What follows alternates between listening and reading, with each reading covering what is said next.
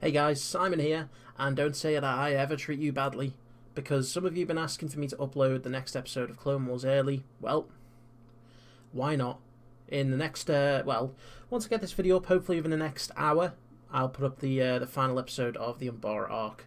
So, uh, you're welcome.